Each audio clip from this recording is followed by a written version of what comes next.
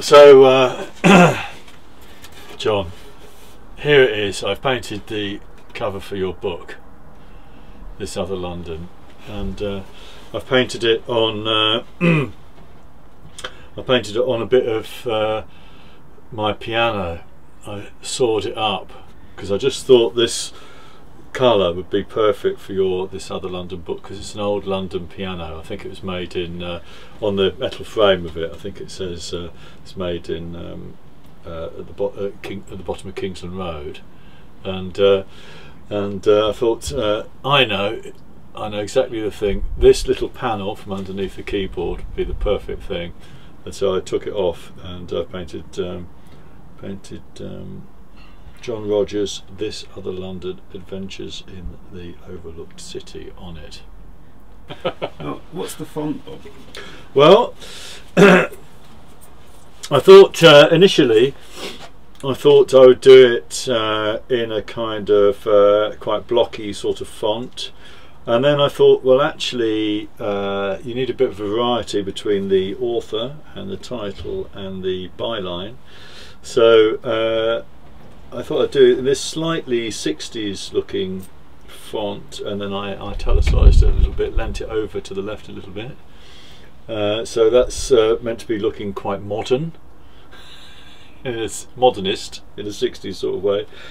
And then when I did this, I just saw when I think when you I think somebody typed through what it was, and it came up as Times Roman, and I thought, oh, I'll stick a few serifs in in there. And actually that looked very the word London I always think just looks fantastic with a few serifs because of because of the times of London I think.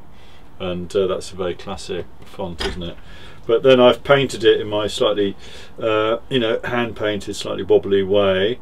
And it looks a bit strange and mildly like some sort of mad medieval person might have painted that I think but anyway, it, so it's got a few serifs on there, and I think that looks a bit, uh, um, perhaps ha has a bit more authority. Comes with the serif, doesn't it? And then this, uh, because that's a byline, I thought I'd use a kind of fruit, um, a fruiterer's uh, kind of.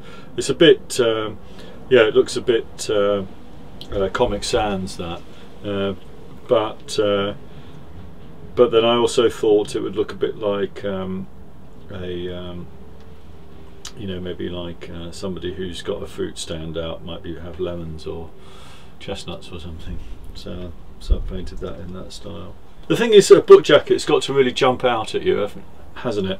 And uh, this bit of Woodwardian piano is quite dour and grand and I thought that would stand for uh, I thought that would stand for London and uh, but then I made the colours quite poppy uh, because I thought that would stand for the uh, uh more modern intellectual rigour which uh, which John Rogers is uh, applying to the book. So that would make it a bit groovier.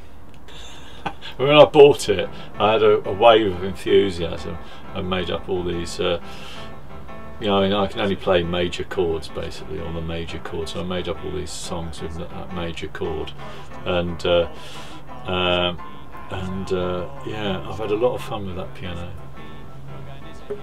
So it breaks my heart to it. Yeah, it's very sad. That first saw cut right into the middle of it, that was quite a tough decision. That's quite difficult to live with for the rest of the day. But once I got into it, it became quite exciting, you know. oh, it was a terrible thing to do. Because you can see it was actually quite a nice piano, you know.